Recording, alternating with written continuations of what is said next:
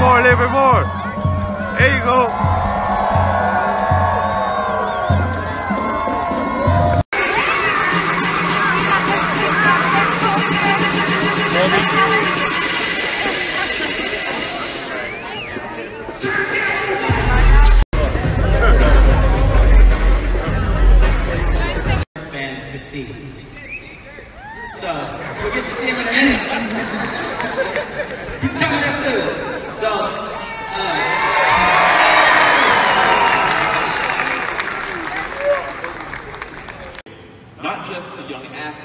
But to everyone in Dallas.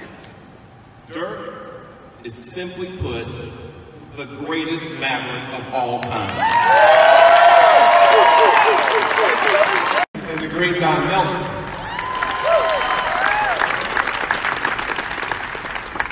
Today I'm going to share with you a quotation. Um, when I have to go before that, when we played Utah, we the first time, and Dirk played well. Calvin Booth, we come back, hits a shot. But the highlight of that that people don't remember, we're running around celebrating, and Durkin is running around. To stand here today is uh, sort of surreal.